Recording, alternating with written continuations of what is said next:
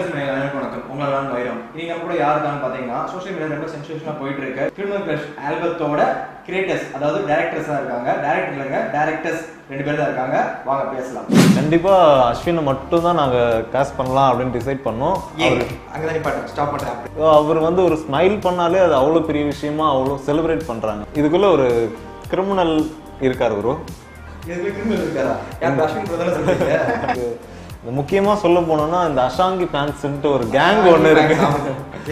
அந்த கேங் போதும் ப்ரோ இந்த ஆல்பத்தை அவ்வளோ ட்ரெண்ட் பண்றாங்க அவங்க செலிப்ரேட் பண்றாங்க. நாங்க வேற எந்த கேமராமேன் கிட்ட போயிருந்தாலும் இவ்வளோ ஒரு கிரேட்டான ஒரு விஷுவல் அப்படி இருக்குல்ல? ஒரு ஃப்ரேமும் பார்க்கும்போது எங்களுக்கு அவ்வளோ பிடிச்சிருந்தது ஆடியன்ஸ் அவ்வளோ பிடிக்குது.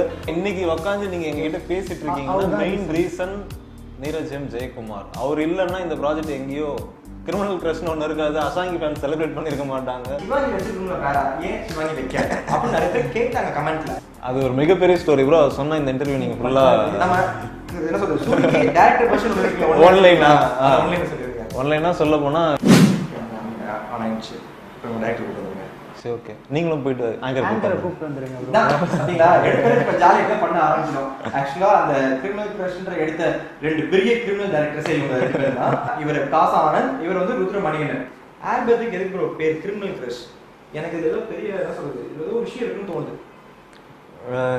இதுக்குள்ள ஒரு கிரிமினல் இருக்காரு ப்ரோ இதுக்கு கிரிமினல் இருக்காரா யார் அஸ்வின் பிரதமர் சொல்றீங்க? ஆமா bro அவர் ஒரு க்ரஷ்ஷாகவும் நிறைய பெண்கள் பார்க்குறாங்க. அவருக்கு எவ்வளோ டெக்ஸ்ட் வருதோ இல்லையோ அந்த அந்த ஆல்பத்தோட டேரக்டர்ஸ்னு எங்கள் ரெண்டு பேருக்கு அப்படின்னு சொல்லிக்கிறாங்க. தமிழ்நாட்டுல இருந்து பல பெண்கள் வந்து அஸ்வினோட நம்பர் கொடுங்க அஸ்வினோட நம்பர் கொடுங்கன்னு. இல்லை ஸோ அதனால. கிரிமினல் கஷ் க்ரஷ் ஓகே அதனால கிரிமினல் கிரஷ் வச்சிங்க ஆமா ஆமா Yes, நம்ம கான்செப்டோட அது கரெக்டா இருக்கிறதுனால அந்த நேம் ஓகே ப்ரோ ஃபர்ஸ்ட் எடுத்தோடனே இந்த கேள்வி நான் கேட்டே ஆகணும் இல்லைன்னா என் தலை வெடிச்சிரும். அதாவது டேரக்டர்னாலே ஒரு கிரியேட்டிவ் ஃபீல்டு அதாவது என்ன சொல்றது? அப்படியே கிரியேட்டிவ் பறந்து வர டிபார்ட்மெண்ட் அப்படி இருக்கும்போது ரெண்டு டேரக்டர்ஸ் இருக்கீங்க. கான்செப்ட் வைஸ் கிளாஷ் ஆகாது? இப்போ நீங்க ஒரு ஐடியா சொல்ல இல்ல அது நல்லா இருக்காது அவர் சொல்ல நீங்க ஒன்று சொல்ல அது வேணாம் அவர் சொல்ல எப்படி ரெண்டு பேரும் சேர்ந்து? அதுதான் அது அப்படி வரும்போது ரெண்டு பேரோட பாயிண்ட் ஆஃப் வியூல ரெண்டு விஷயம் வரும். அது வந்து எங்க கன்க்ளூஷன் ஆகுதோ அதுதான் எங்களோட அவுட்டா இருக்கும். அதை தாண்டி ஃப்ரெண்ட்ஷிப் ப்ரோ ஃபர்ஸ்ட்டு ஓகே. இதுதான். ஓகே. இந்த ரேப்போ அங்க இருக்கும். நீங்க செட்ல வந்து பார்த்தாலும் இதே தான் இருக்கும் இல்ல எங்க வீட்ல பார்த்தாலும் இருக்கும். அவங்க வீட்ல போய் பார்த்தாலும் இருக்கும். அதனால அந்த கிளாஸ்லாம் எதுவுமே எங்களுக்கு தெரியல. ஆனா வெளிய நிறைய பேர் இந்த கொஸ்டின் கேக்குறாங்க. என்ன ரெண்டு பேர் இருக்கீங்க? நீங்க சொல்லுங்க.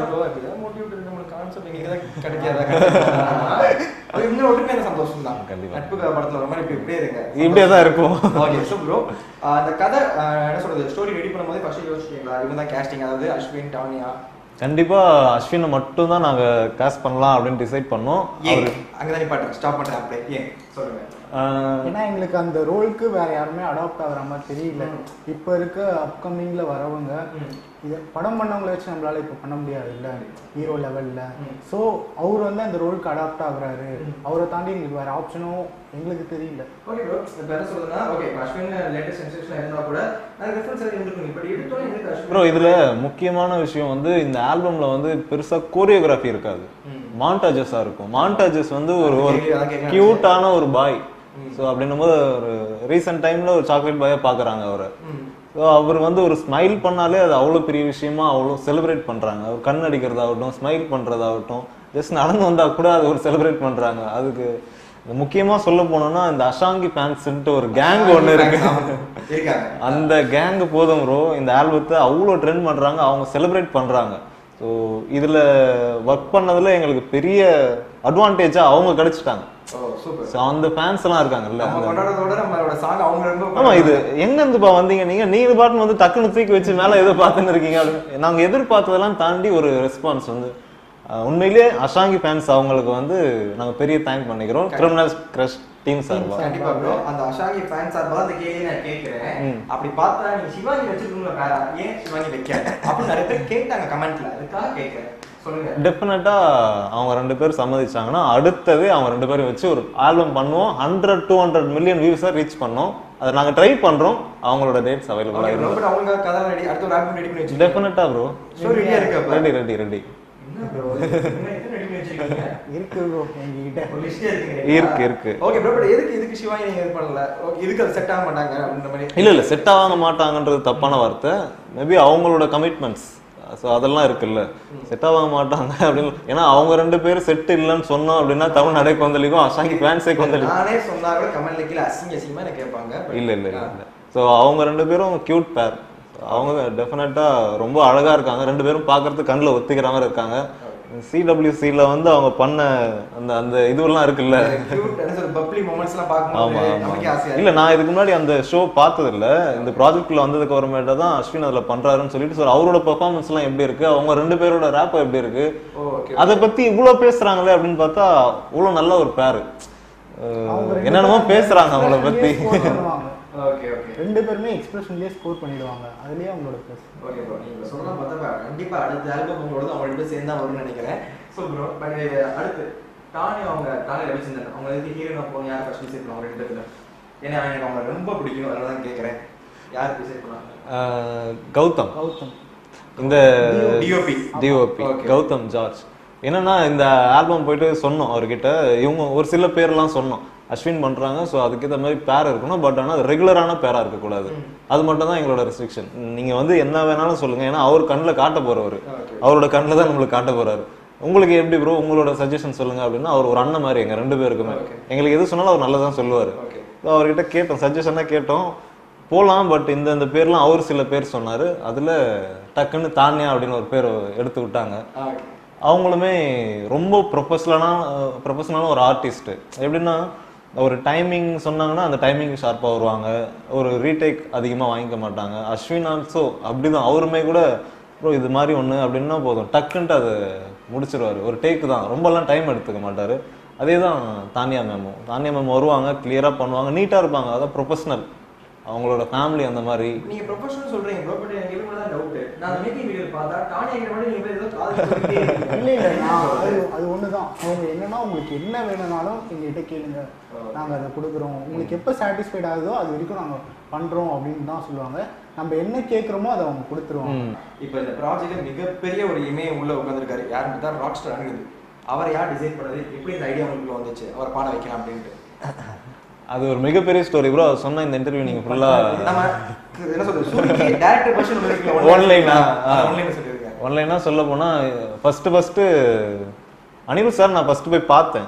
வேற ஒரு ப்ராஜெக்ட் விஷயமா போயிட்டு பார்த்தேன். பார்த்துட்டு அவர் கூட அவரை மீட் கூட பண்ணல.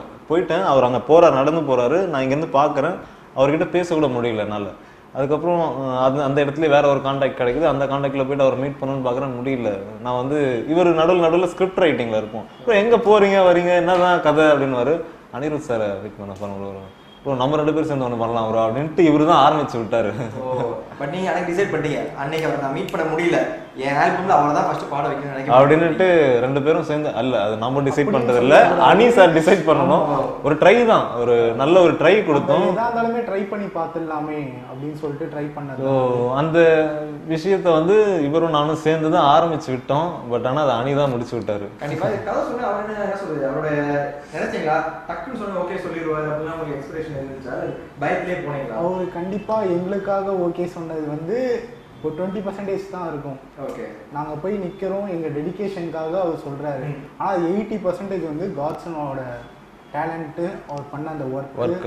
அவரோட டியூனு அது எல்லாமே தான் காரணம். ஓகே ப்ரோ சூப்பர் காட்சன் பத்தி சொல்லி பேசிட்டீங்க. அவர் இதுக்கு இன்டர்வியூ எடுக்கும்போது பச்சை பிள்ளை மாதிரி இருந்தாரு. ஸோ டேரக்டர்ஸ் உங்ககிட்ட தான் கேட்கணும். அவரோட மியூசிக் என்னதும் ஹாஃப் அன் ஹவர் ஒரு டியூன் கொடுத்துருக்கீங்கிறாரு ப்ரோ எனக்கு தெரிஞ்சு ஏஆர் கூட ரசிக்கணும் எனக்கு தெரியல. நீங்க ஏதோ டின்னர் சாப்பிட போனீங்க அதுக்குள்ள டியூன் ஆமா கொடுத்துருக்காங்க. ஆமா அது இருங்க ப்ரோ ஒரு டீ சாப்பிட்டு வந்துடுறோம். எனக்கு என்னன்னா ஒர்க் பண்ற.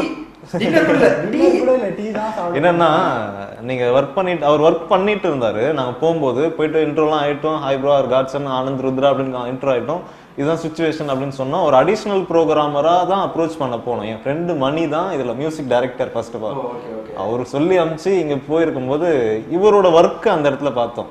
நான் இவர் உட்காந்து அவரு கீபோர்டு கிட்ட ஏதோ பேசிட்டு இருக்காரு. நாங்க ரெண்டு பேரும் இந்த சைடில் ஏதோ பேசிட்டு இருக்கோம். ப்ரோ என்ன ப்ரோ பண்றான் இவன்? அப்படின்ற மாதிரி இருந்தது. அப்புறம் பார்த்துட்டு சரி காட் சார் நீங்கள் ஏதோ பண்ணுறீங்க பண்ணினே இருங்க. நாங்கள் அதை போயிட்டு வந்துடுறோம். அப்படின்னுட்டு வெளியே வந்துட்டு இவரை தாண்டி ஒருத்தருக்கு நம்ம இந்த மியூசிக் டைரக்டராக கொடுக்கறதுக்கு ஆப்ஷன் இல்லை ப்ரோ அப்படின்னு சொல்லிட்டு ரெண்டு பேரும் ஒரு பார்க் உங்கள் வீட்டு பக்கத்தில் ஒரு பார்க் இருக்காங்க போய் உக்காண்டோம் ரீசெண்டாக உட்காந்துட்டு பேசிட்டு இந்த மணிக்கிட்ட கூட சொல்லிக்கலாம் ப்ரோ ஆனா காட்சன் தான் மியூசிக் டைரக்டரா இருக்கணும் அப்படின்னு சொல்லிட்டு அங்கேயே அணியை பத்தி நாங்க ரெண்டு பேர் மட்டும் அப்படியே குசு குசுன்னு பேசிட்டு கிளம்பி வந்துட்டோம். வந்து அவர்கிட்ட சொன்னோம் இந்த மாதிரி நீங்க தான் ப்ரோ மியூசிக் பண்றீங்க அப்படின்னு.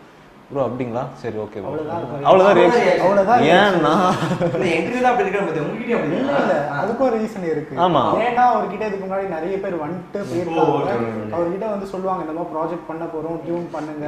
அப்படின்னு சொல்லிட்டு அவர் உட்காந்து டியூன்லாம் செம்ம டெடிகேஷன் டியூன்லாம் உட்காந்து ரெடி பண்ணுவாங்க. ஆனா நெக்ஸ்ட் டைம் வர மாட்டாங்க அந்த மாதிரியே இருக்கும். ஸோ நம்மளையும் அப்படி நினைச்சிருக்கலாம் ஸ்டார்டிங்ல பட் போக போக போக அவருக்குமே இந்த ப்ராஜெக்ட்ல இன்ட்ரெஸ்ட் வந்துடுச்சு எங்களை ரொம்ப நம்பினாரு. அப்புறம் காட்சனுக்கு பெரிய பெரிய சப்போர்ட் அப்படின்னா நானும் ருத்ராவெலாம் கிடையாது. அவரை இனிஷியல் ஸ்டேஜில் அவர்கிட்ட இருக்க திறமையை பார்த்து அதை கண்டுபிடிச்சி எடுத்துகிட்டு வந்து அவரை அந்த ட்ரெயின் பண்ணி அவருக்கு தேவையான விஷயங்கள்லாம் கொடுக்கணும்ல. எனக்கு இதில் இன்ட்ரெஸ்ட் இருக்குது இல்லை எனக்கு பசிக்குது எனக்கு சாப்பாடு எடுத்துகிட்டு வந்து ஒருத்தவங்க கொடுக்கணும். ஸோ அப்படின்றத பண்ணது வந்து அவங்க அப்பா அம்மா. ஸோ அது ரொம்ப பெரிய விஷயம். எல்லா பேரண்ட்ஸும் அதை பண்ணாங்க எல்லாம் எல்லாருமே தங்கம் தான். காட்ஸன் மட்டும் தான் இன்னைக்கு தங்கமாக பார்க்குறாங்க காட்ஸனை தாண்டி இன்னும் பல தங்கம் அங்கங்கே இருக்குது ஸோ அவங்க அப்பா அம்மாலாம் எல்லாருமே அவங்கள பார்க்கணும் பார்த்து அவங்க திறமைய கரெக்டாக கண்டுபிடிக்கணும். கண்டுபிடிச்சாங்கன்னா டெஃபினட்டாக எல்லாருமே பெரிய பெரிய ஆளாக வருவாங்க. காட்சன் அவங்க அப்பா அம்மாவுக்கு மெரிய பெரிய மிகப்பெரிய பங்கு வந்து காட்சன் கண்டிப்பாக ப்ரோ நல்ல மெசேஜ் சொல்லியிருக்கீங்க. அப்படி கண்டெடுத்த தங்கத்தில் இந்த ஒரு வைரமும் வந்துச்சு. எங்கள் அம்மாவும் என்னை இந்த ஃபீல்டில் அவங்க அனுப்பிச்சுட்றாங்க ஆனால் ஆக்சுவலாக நான் இதை அவளை கேட்க மறந்துட்டேன். ஆக்சுவலாக இன்டர்வியூவில் பட் உங்கள் மூலியமாக அவருக்கு என்ன சொல்கிறது அவர் நேம் என்ன ப்ரோ அவர் காட்சன் ஃபாதர் நேம் அவர் ஃபாதர் இல்லைங்க பிரதர் நந்தகுமார். ஓ. பார்க்க அப்படிதான் இருக்காரு. நானும் பார்த்தேன் இன்டர்வியூ சோ அவர் ஃபாதர் ஸ்லாஷ் பிரதர் நந்தகுமார் அவர்களுக்கு மிகப்பெரிய நன்றி. என்ன சொல்றது? ஊர்ல இந்த மாதிரி ஒரு பத்து நந்தகுமார் இருந்தாலே போதும். பல திறமசாலையும் வெளியே வந்துருவாங்க. ஓகே ப்ரோ இன்னைக்கு சோஷியல் மீடியா தட்டிட்டேன் ஓகே நான் லைக் பண்ணிட்டேன் ப்ரோ லைக் பண்ணுங்க. சப்ஸ்கிரைப் பண்ணுங்க. சூப்பர் ஆடியன்ஸ் ஷேர் பண்றேன்னு சொல்லிட்டாங்க. ஓகே ப்ரோ நீங்க இந்த ஆல்பம் கதையா இருக்கும் போதே யோசிச்சிருந்தீங்களா? ஒவ்வொரு பெரிய பெரிய இப்ப அனிருத் சார் பாடுறதுனால ஓகே அது மிகப்பெரிய ஒரு வெற்றியா வரும்னு நினைச்சேன். பட் அதை தாண்டி சோஷியல் மீடியால ட்ரெண்டிங்லயே இருக்கிறது பெரிய விஷயம். என்ன சொல்றது? இப்ப எப்பவுமே எடுத்தோம்னா நம்ம நம்மளுடைய ஆல்பம் தான் ஃபர்ஸ்ட் ஆஃப் நிக்கின்றது அது பெரிய விஷயம். ஆமா. அந்த அளவுக்கு வரணும் ஸ்கிரிப்ட் ரெடி பண்ணும்போதே ஒரு இது பண்ணிட்டீங்களா? இல்ல ஸ்கிரிப்ட் ரெடி பண்ணும்போது இந்த மாதிரி வருமா இது அப்படின்லாம் நம்ம கண்டிப்பா அதெல்லாம் பண்ணதில்ல. இதுதான் ஃபர்ஸ்ட் நம்பர் ஒன் ட்ரெண்டிங்ல வரும். இதுதான் இத்தனை நாள் நிக்கும் இதெல்லாம் பீட் பண்ணிட்டு நம்மளது வரப்போகுது அப்படின்றதெல்லாம் எந்த சீனுமே இல்ல. நம்ம ஒண்ணு பண்றோம் அது மக்களுக்கு பிடிச்சது அப்படின்னா டெஃபினட்டா அவங்க எடுத்துட்டு வந்து அந்த இடத்துல நிறுத்திடுவாங்க. அதே அதுமே ஃபேன்ஸ் இருக்காங்கல்ல. அவங்க போதும் அவங்க போதும். ரீச் பண்ணி இங்கேயே கொண்டு போயிட்டாங்க. மோஸ்ட் ஆஃப் த ஆல்பம் எல்லாமே இன்டோர் நைட் ஷூட்லயே பண்ணியிருக்கீங்க அது. அது பிளான் பண்ணதே? ஃபுல் அண்ட் ஃபுல் நைட்டு நாங்கள் வந்து இந்த இந்த கலர் பேலட் யூஸ் பண்ணலாம். Okay warm and tea colour பேலட்ல use பண்ணலாம் அப்படின்னு. சொல்லிட்டு பிளான் பண்ணது தான் அது. ஸோ நம்ம கலர்ஸை நல்லா பூஸ்ட் பண்ணி காட்டணும்னா நைட்டில் பண்ணா இருக்கும். நம்ம கான்செப்ட்டுக்கும் அது ஃபுல்லாக நைட் மூடில் இருந்தால் நல்லா இருக்கும். தோணதுனால நம்ம ஃபுல்லாக நைட்லேயே ஷூட் ஏன்னா இதோட பேலட்டை வந்து பார்த்தீங்கன்னா வேற எந்த கேமராமேன் பண்ணியிருந்தாங்கன்னா அதாவது நிறைய பெரிய பெரிய ஆட்கள் இருக்காங்க எங்க ரேஞ்சுக்கு அப்படின்ற மாதிரி யாருன்னா நாங்கள் போய் ட்ரை பண்ணலான்னு இருந்தோம். பட் எங்களெல்லாம் தாண்டி ஒரு ஒரு ஒரு பர்சன் ஒரு ஒரு மலை பிசி ஸ்ரீராமன் சாரோட அசோசியேட்டாக வேலை பார்த்த கௌதம் ஜார்ஜ் ஸோ அவர் வந்து இந்த ப்ராஜெக்ட்குள்ளே வராரு. நைட் மோடை வந்து ஷூட் பண்ணி கொடுக்கறதுக்கு அவர் விட அழகா எவ்வளோ அழகா ஷூட் பண்ணிருக்காரு. அவ்வளோ ஒவ்வொரு ஃப்ரேமே எங்களுக்கு வச்சுட்டு பாருங்க அப்படின்ட்டு கூப்பிட்டு காட்டுவார். அது காட்டும் போது தலைவா இது தாண்டிலாம் ஒண்ணுமே இல்லை. நீங்க பாட்டு எடுங்க. அப்படின்ற மாதிரி தான் இருக்கும். நம்ம சொல்லவே தேவையில்ல. அவர் வச்சுட்டு நீங்க பாட்டு எடுங்க. நாங்க ஆக்ஷன் கட்டு சொல்லிக்கிறோம் அப்படின்ட்டு தான் இருக்கும். ஒரு ஃப்ரேம் வைப்பாரு. அதை பார்ப்போம். அவ்வளோ அழகா இருக்கும். போயிடுவோம். இதை வந்து நாங்க வேற எந்த கேமராமேன் கிட்ட போயிருந்தாலும் இவ்வளோ ஒரு கிரேட்டான ஒரு விஷுவல் அப்படி இருக்குல்ல? ஒரு ஃப்ரேமும் பார்க்கும்போது எங்களுக்கு அவ்வளோ பிடிச்சிருந்தது ஆடியன்ஸ் அவ்வளோ பிடிக்குது. அவருக்குன்ட்டு சில ஃபேன் ஃபாலோவர்ஸ் இருக்காங்க. சில பேர் இல்ல பல பேர் இருக்காங்க. கௌதம் ஜார்ஜ் ஃபேன்ஸ் இருக்காங்க. அந்த ஃபேன்ல நானும் அவரும் ஒருத்தர். நானும் அது ஒருத்தர் இன்ஸ்டாகிராம் பேஜ் தான் ஃபாலோ பண்றேன். அவர் போட்டோ அவரோட இமெயில் லிங்க் போட்டுருவேன் அப்புறம் அவர் ஒரு ஜேடி ப்ரோ அவரு. ஜேடி மாதிரி. இல்ல இல்ல நீங்க நினைக்கிற ஜேடி இல்ல. மாஸ்டர் ஜேடி அதுல இந்த ஜேடி இல்ல வேற ஜேடி.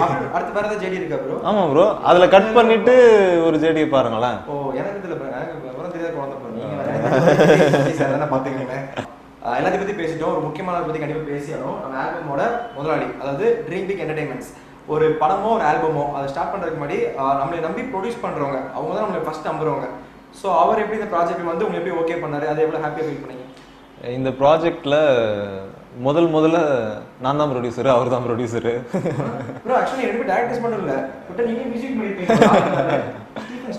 என்னன்னா ஒரு ஒரு ஆல்பம் பண்ணணும். சில பேர்லாம் சேர்த்தாச்சு. நானும் விளையாட்டுக்கு வரேன் அப்படின்னு சொல்லிட்டு நிறைய பேர் கூடயும் வந்துட்டாங்க. இதை வந்து கை விடுறதுக்கு சுத்தமா மனசு இல்லை. இந்த ப்ராஜெக்டை விட்டு போயிடலாம். இது வந்து கையை வச்சிட்டோம். இதுக்கப்புறமேட்டா பணம் இல்லை விட்டுறலாம் அப்படின்றதுக்கு மனசு இல்லை. ஸோ இருந்த பணத்தை வச்சுட்டு ஒரு நாள் ஷூட் முடிச்சிட்டோம். முடிச்சுட்டு திருத்தன்னு முழிச்சிட்டு இருந்தோம். என்னடா பண்ணுறது நாளைக்கு ஷூட்டுக்கு அப்படின்னுட்டு நின்றுட்டு இருந்தோம். நிறைய பேர் பணம்லாம் கேட்க ஆரம்பிச்சிட்டாங்க. ஏப்பா இன்னைக்கு நடந்த ஷூட்டுக்கு காசு கொடுப்பா அப்படின்ட்டு கேமரா சைட்லேருந்து கேட்குறாங்க யூனிட்லேருந்து கேட்குறாங்க ஆர்டிஸ்ட் அவங்க மட்டும் பொறுத்துக்கிட்டாங்க. ஆர்டிஸ்ட் கேமராமேன் இவங்கெல்லாம் பொறுத்துக்கிட்டாங்க. அவங்களுக்கு அப்புறமேட்டாக தான் கொடுத்தோம். பட் சில பேர்லாம் வந்து நிறைய போஸ்ட் பண்ணாங்க. எல்லார்கிட்டயும் ஒரு பர்மிஷன் வாங்கிட்டு நாங்கள் கொடுத்துட்றோம். அப்படின்ட்டு ஒரு நம்பிக்கை கொடுத்து நாங்கள் கிளம்பி வந்துட்டோம். எடுத்த ஃபுட்டேஜ் எடுத்துகிட்டு போய்ட்டு எடிட் பண்ணிவிட்டு ஒரு சில பேரெல்லாம் போயிட்டு பேசணும். என் காண்டாக்டில் இருக்க எல்லாருக்கும் ஃபோன் அடிக்கிறேன். இவ்வளோ வேணும் அவ்வளோ வேணும்லாம் கேட்குறேன் எதுவுமே இல்லை. நை பேட்டான்ட்டாங்க பிபிடி அனுப்பிச்சிருப்போம் சினாசஸ் அனுப்பிச்சிருப்போம். எல்லார்கிட்டயுமே "ம்ஹும், எங்களுக்கு அது வேணாம் புரியல அப்படின்ட்டாங்க. நெடுமாறன் வந்து ஒரு ஒரு கட்டத்துல வந்து ஃப்ளைட்டை வந்து ஏத்துறதுக்காக நின்னுட்டு இருப்பாரு. சில தளங்கள் சில முரண்பாடெல்லாம் வரும். ஒரு ஆபீசர் வந்து அப்படி நின்னுட்டு நீ ஏத்துமாறா நான் பாத்துக்கிறேன் நிப்பாருல்ல? அந்த மாதிரி வந்து நிக்கிறாரு நீரஜ் எம் ஜெயக்குமார். எங்கேயா இருந்த? இவ்வளவு நாள் யார் யாரோ சின்ன பையன்லாம் எங்களை அடிக்கிறாயா? அப்படின்ற மாதிரி நின்று போது வந்து நின்றுட்டு எவ்வளோ ஆச்சு? என்ன இன்னும் என்ன நான் பண்ணணும்? எவ்வளோ பணம் உங்களுக்கு தேவைப்படுது? எல்லாத்தையும் செட்டில் பண்ணி மொத்தமாக அப்படியே எதுவுமே அக்ரிமெண்ட் அக்ரிமெண்ட் ஒன்றும் கிடையாது. அப்படியே பிளைண்டாக நம்பினாரு எங்களை. ஓப்பனா நம்பி உங்க மேல எனக்கு ஒரு நம்பிக்கை இருக்கு நீங்க பண்ணிருக்கிறது நல்லா இருக்கு நீங்க நல்லா பண்ணுவீங்க எனக்கு தேவையானது வந்துரும் அப்படின்ட்டு பணத்தை கொடுத்தாரு. எங்களை பேசினவங்க திட்டினவங்க எல்லாருமே எங்களை திரும்பி பார்க்கறதுக்கு கூட அவங்களுக்கு மு- முகம் இல்லை. அந்த அளவுக்கு பேசிட்டாங்க. இவர் வந்து எல்லாத்தையும் சால்வ் பண்ணி விட்டதுக்கு அப்புறமேட்டு அவங்களாம் எங்களை திரும்பி பார்க்கல. ஒரு நீரஜ் சார் மட்டும் பார்த்துட்டு பாய் சொல்லிட்டு கிளம்பி போயிட்டாங்க. இல்ல இல்ல நாங்க மாறா இல்ல. நான் அந்த கேரக்டர் மட்டும் தான் சொன்னேன் மாறா ஒன்லி ஒன்லி சூர்யா தான். அவர் தான் பார்த்து ஃபர்ஸ்ட் ஃபர்ஸ்ட் நம்பினார் நம்ம ப்ராஜெக்ட் கண்டிப்பா கண்டிப்பா. அவர்தான். அங்க அவருக்கு பெரிய தேங்க் தான் இந்த ப்ராஜெக்ட் இப்போ வரைக்கும் கரெக்டா போயிட்டு இருக்கு. ஏங்க இன்னைக்கு உட்காந்து நீங்க எங்ககிட்ட பேசிட்டு இருக்கீங்கன்னா main reason Neeraj M Jayakumar. அவர் இல்லைன்னா இந்த ப்ராஜெக்ட் எங்கேயோ கிரிமினல் கிரஷ்னு ஒன்று இருக்காது. அசாங்கி ஃபேன் செலிப்ரேட் பண்ணிருக்க மாட்டாங்க. ஸோ எல்லாருக்குமே ஒரு அற்புதமான கிரிமினல் டேரக்ஷன் கிடைச்சிருக்க மாட்டாங்க. கண்டிப்பா காட்சன் நம்மளுக்கு கிடைச்சிருக்க மாட்டாரு. ஸோ இந்த முக்கியமான சில விஷயங்கள் எல்லாத்துக்குமே முக்கியமான அந்த நல்லதை ஒண்ணு சேர்க்கறதுக்கு ஒரு நல்லவங்க வேணும். கண்டிப்பா கண்டிப்பா கண்டிப்பா. நம்ம எல்லாத்தையும் ஒண்ணா சேர்க்கறதுக்கு மிகப்பெரிய நன்றி. அவர் இன்டர்வியூலயே ஒரு விஷயம் சொல்லியிருந்தாரு.